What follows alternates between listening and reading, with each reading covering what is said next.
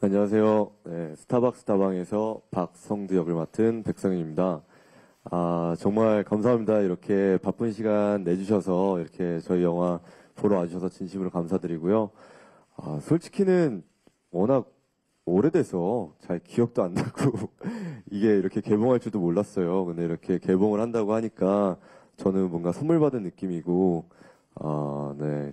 제가 이제 1월 2일 날 이제 군 입대를 하는데, 아, 마지막 스케줄로 스타벅스 다방 이렇게 시사회를 하고 갈 수 있게 돼서 어, 개인적으로는 굉장히 감사하게 생각하고 있습니다.